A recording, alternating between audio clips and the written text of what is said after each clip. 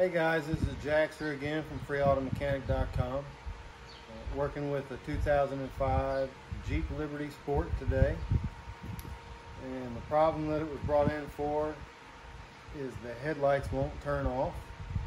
This does not have automatic lights, so they don't turn off by themselves. So if you leave the headlights on, you think you turned it off, or you think that you had automatic headlights, it's just going to run the battery down and cause you a lot of problems.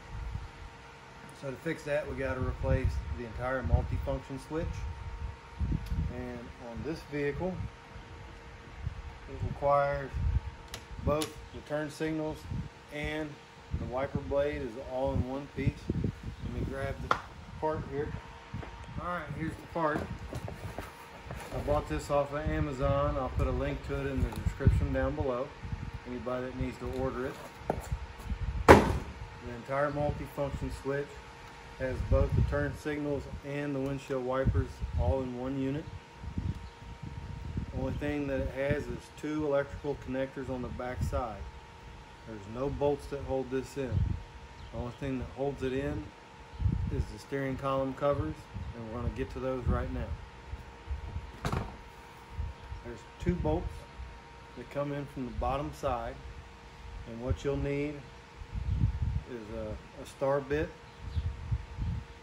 I've just got this multi-bit tool that had different bits inside of it. And it doesn't have a label on it to be able to tell you if it's a T12 or what size it is exactly. Let's just slide that up in here.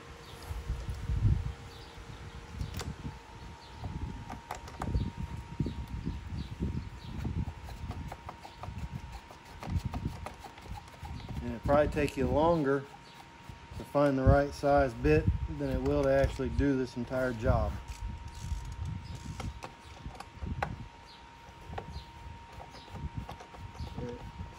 One thing you'll need to do is make sure that you have the key out of it so they can come off.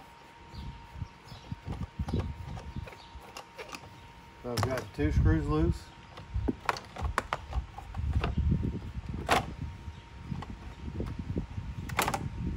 Pops loose, comes right off of there, top and bottom. And then you want to push down, lock it into place so it holds it and you can see our unit pops right up off of there. You just need to remove the two connectors by squeezing in. Push this tab and you might have to wiggle the wiring a little while you're doing it.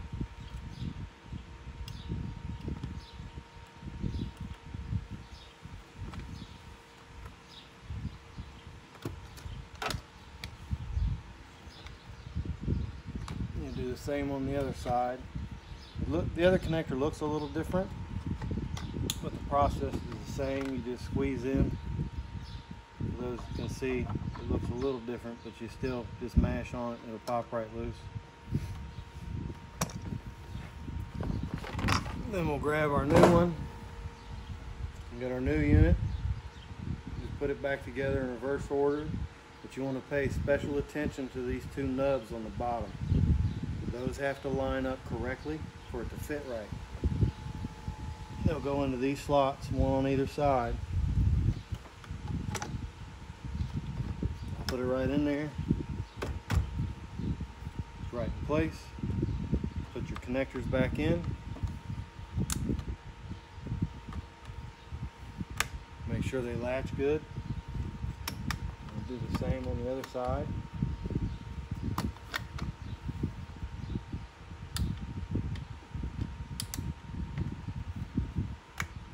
Hear it snap when it's in all the way. You can pull a little bit on the back just to make sure that you got them in good and solid. Then you just put it back together in reverse order. And make sure you get your top piece in place. And your bottom piece, you want to make sure that you leave room for the slot. And these two little nubs here line up. There's two on either side. They have to line up.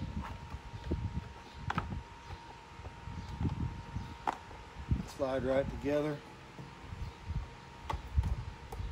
Same on the other side. Put your two screws back in and you're good to go.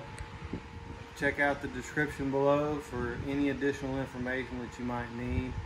And uh, I'll see if I can't get the step-by-step -step instructions in there as well, as long uh, along with the links to where to buy the part. Thanks for watching.